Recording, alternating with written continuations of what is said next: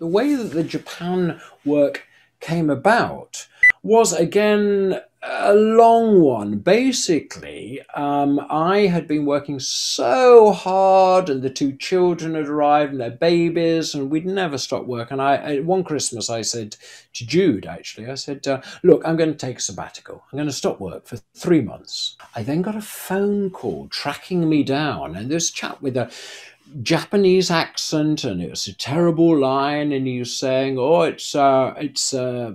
Don't do the accent. Don't do the accent, Dad. Otherwise, I can't. I can't. Oh, you're quite right. In July 2021, my father Bill Brookman retired from being a theatre practitioner. But what is a theatre practitioner? Well, in a 50 year career, he's worked as a musician, actor, director, street performer, puppeteer, and a one man band.